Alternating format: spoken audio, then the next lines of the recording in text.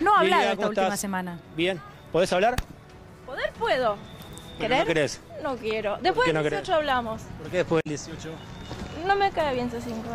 ¿Por qué no te cae bien? Como servidora pública les voy a dar todas las notas que quieran. Puede ser que empezaste a hablar un poquitito menos después de la propuesta de que los con la fiscalización.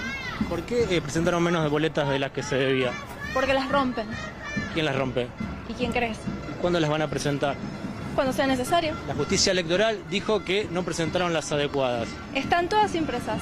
Puede ser que hablaste un poquito menos después de la propuesta de que los hombres no se hagan cargo de los, No, de me los cansé, hijos. me cansé del maltrato de los medios. Pero ¿cómo tomaste esas declaraciones, las repercusiones? ¿Se va a dolarizar, Lilia? Por supuesto que sí. Le han pedido Hola. que no hable, que no dé declaraciones, La Lilia. misma pregunta. Mentira. Pero se la vio menos participativa. Estoy trabajando en la fiscalización. ¿Ya está pensando en el trabajo en la Cámara, en el Congreso? Por supuesto. Lila, ¿te escondiste porque sos perjudicial para la campaña?